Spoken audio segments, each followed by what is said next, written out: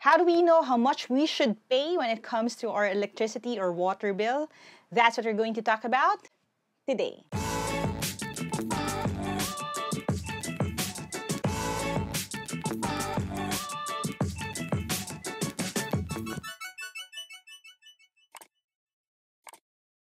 Hi there, thank you for checking out my channel. Thank you for clicking on this video. If this is the first video you're watching from my channel, I make educational and motivational content. So if you don't want to miss any of my new uploads, don't forget to hit subscribe and hit that bell icon. Now, like I said in the intro kanina, pag-usapan natin yung paano i-calculate yung bill ninyo based dun sa kilowatt hours or kung ano yung konsumo nyo naman din sa water bills.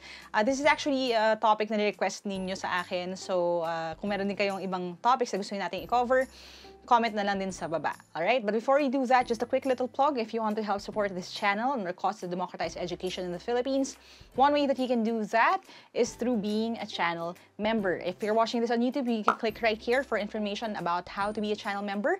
Sa lahat ng mga channel members, rookies, and MVPs natin right now, maraming salamat sa inyo. You will find them kasi meron silang logo ng Team Laika right beside their name. And they can also use yung mga special icons natin whenever we go live or sa mga comments nila. So sa inyong lahat, maraming salamat because your support really goes a long way keeping the lights on dito sa ating operation. And of course, in funding yung mga scholars din natin and everything that we do for the team, for the country, and for everyone who comes across yung mga educational content natin. Alright? And now that we have that out of the way, I'm going to switch over to my tablet. I'll see you in a bit. Alright, ito yung lesson natin on meter reading and bill computation. I know na part siya ng MELCs for students, kaya pag-uusapan natin ito. Pero if you are someone who likes learning din and gusto ninyong matutunan kung paano kinukuha yung calculation ng inyong monthly bill sa tubig, sa kuryente, this is a good way to go. Okay? Now, uh, I need to stress that this works in three steps. Iisa-isahin natin yan. Okay? First step is to learn how to read the meter. Ituturo ko yan sa inyo ngayon. Now, the next step would be comparing the readings. Kasi ibabangga natin yung reading natin for that month dun sa naging reading last month. And then after that, of course, yung simple na calculation kapag i-compute na natin yung bill.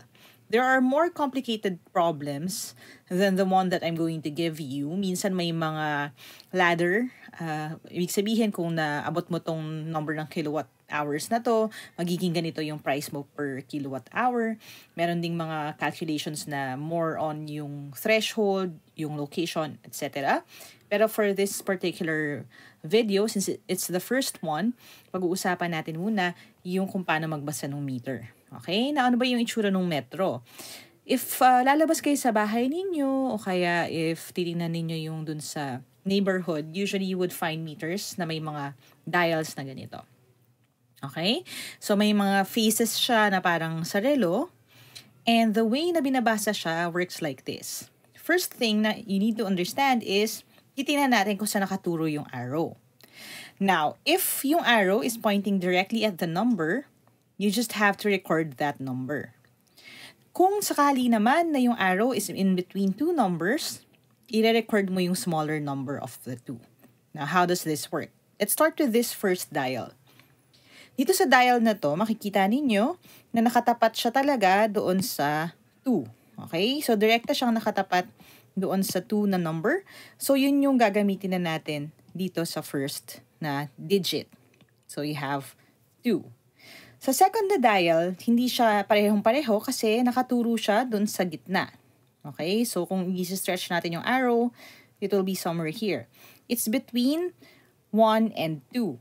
Now, ang rule natin again is if nasa pagitan siya ng dalawang numbers, you have to record the smaller number. The idea is kasi hindi siya umabot dun sa 2. Okay? So, lagi siyang kumbaga round down. Now, 1 and 2, yung numbers na ito, so ang mas maliit na number sa 1 and 2 ay 1, kaya yun yung i-record natin na number. 1. Now, all you have to do is to do the same for the rest. Minsan apat yan, minsan lima. Titinan lang natin again, ito, stretching down, pagitan ng 5 and 6. Mas maliit na number ang 5, so ang ilalagay natin ay 5.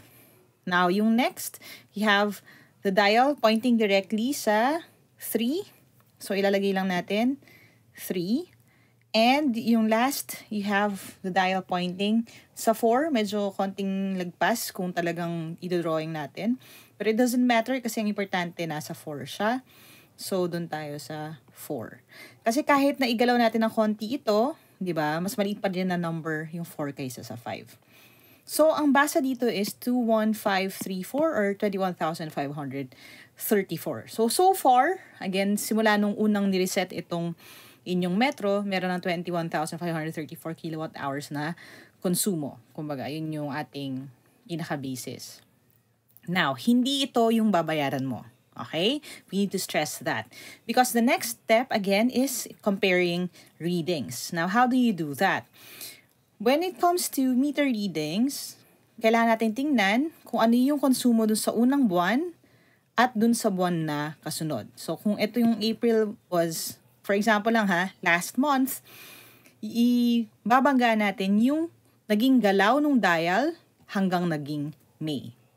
Now, simulan natin. Okay? If you can see this, ito pa rin yung kanina. So, you have 2, 1, 5, 3, 4. Okay. Now, yan 21534, 21,534. Ilalagay lang natin siya. 21534. Now, the idea is dito magsisimula yung konsumo mula sa dulo ng April or sa huling reading hanggang sa susunod na reading.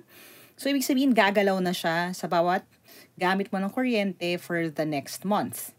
Now, saan siya nag-land nung dulo ng May or dun sa susunod mong reading? Iisa-isahin din natin ang lahat ng ito. I'll use a different color para mas visual. You have this first dial, nasa pagitan siya ng 2 and 3. So again, mas mababang number ang 2. It's the same principle na ginawa natin kanina. This is somewhere in between 3 and 4. Mas mababa yung 3, so 3. Ito ay 5. This one, between 7 and 8, so 7. And then here you have it between 8 and 9, so 8. So, ibig sabihin nun, natapos siya sa April ng 21,534. Natapos siya sa May ng 23,578. Na anong gagawin natin next? Now, since ang May ay mas recent kaysa dun sa April at ang hinahanap natin ay yung yung konsumo sa buwan ng May, ang gagawin mo would be ima-minus mo sa kanya yung recording or reading dun sa May.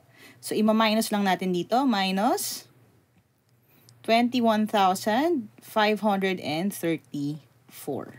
Okay?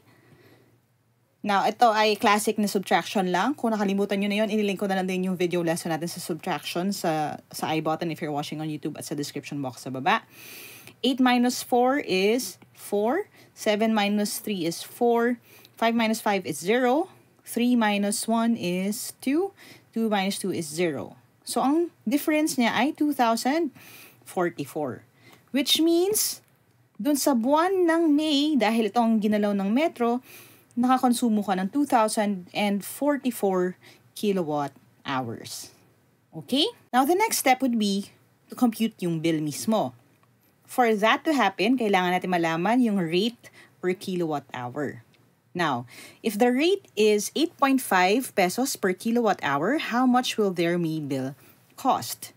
Now, ang difference kanina na nakuha natin is 2,044 4. Now, all we need to do is to multiply this with yung rate in pesos. So, that is 8.5 para makuha natin yung kanyang babayaran. Okay? So, again, this is just, just multiplication. 4 times 5 is 20. This is another 20 plus 2. So, 22. 2. This is 0 plus 2, which is 2. 2 times 5 is 10. Next, you have 4 times 8, 8, 16, 24, 32. I-carry lang natin din dyan. 4 times 8, 32, plus 3 is 35. Carry ulit tayo dyan. 0 times 8 is 0, plus 3, that's 3. 2 times 8 is 16. Okay? So, i-add lang natin ito. 0. This is just, ano ha, long, long multiplication lang to. So, you have 4, 7, 3, 7, and 1. Okay?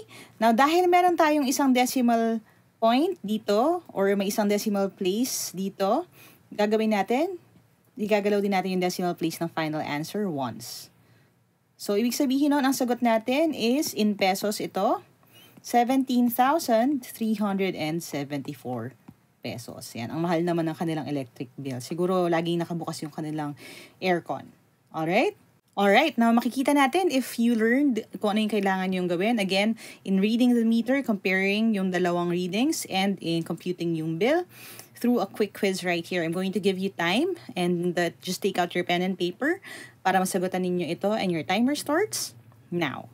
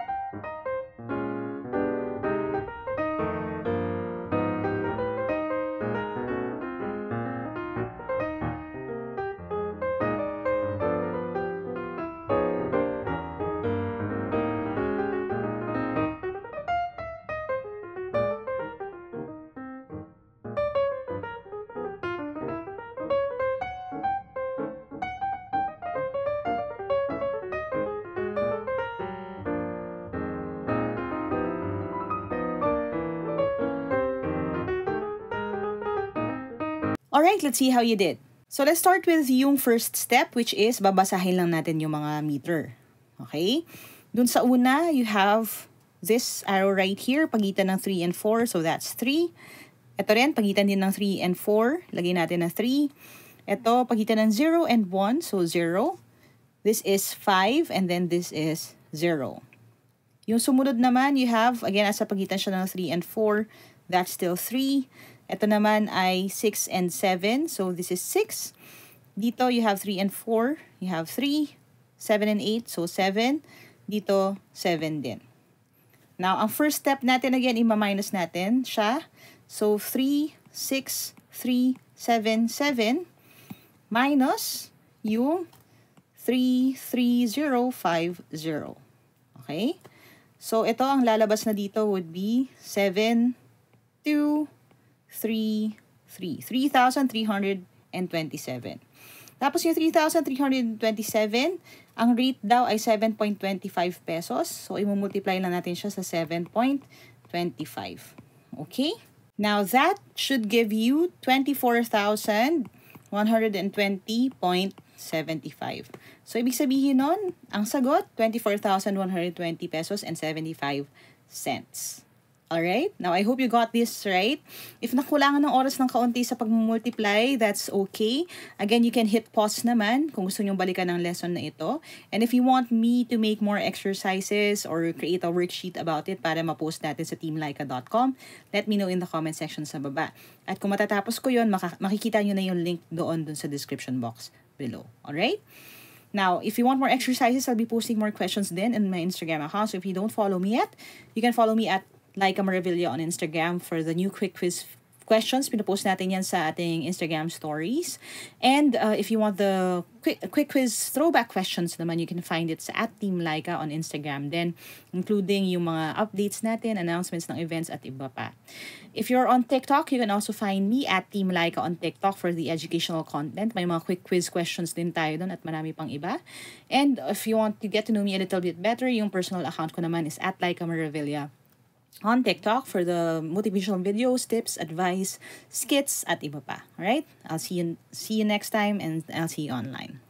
Alright, I hope you learned something today. If you did, click thumbs up. Make sure that you share this video with your friends and mag-exam din sila, lalo na kung kino-cover nyo to sa school or if you're a parent and you know that other parents are going to have to teach this sa inyong mga uh, estudyante sa bahay, you're free to share them uh, with your friends. And if you haven't subscribed yet, subscribe na. Hit that bell icon. We have more videos coming up. If you want to get a hold of the reviewers that I made, join the online or live review events, you can go to www.facebook.com slash teamlike for more information. Message nyo lang kami sa Facebook page so we can assist you throughout the entire process. And maraming salamat sa inyong lahat as we always say sa channel na to. Never stop learning. Adja, adja. Kaya niyan. See you in the next video and bye for now. Alright, thank you for watching until the end of the video. If you want one more video lesson, there's one right here that you can watch. And if you want to get to know me naman a little bit better, aking second channel, yung vlogging channel is right here. Go ahead and subscribe to that and see what happens behind the scenes. Alright? See you online.